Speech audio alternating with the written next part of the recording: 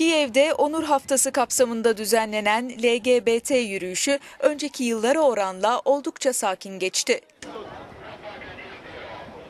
Aşırı milliyetçiler yürüyüş öncesi etkinliği engelleme tehdidi savurmuş, polis güvenlik önlemlerini artırarak 7 bin polisin görev aldığını belirtmişti.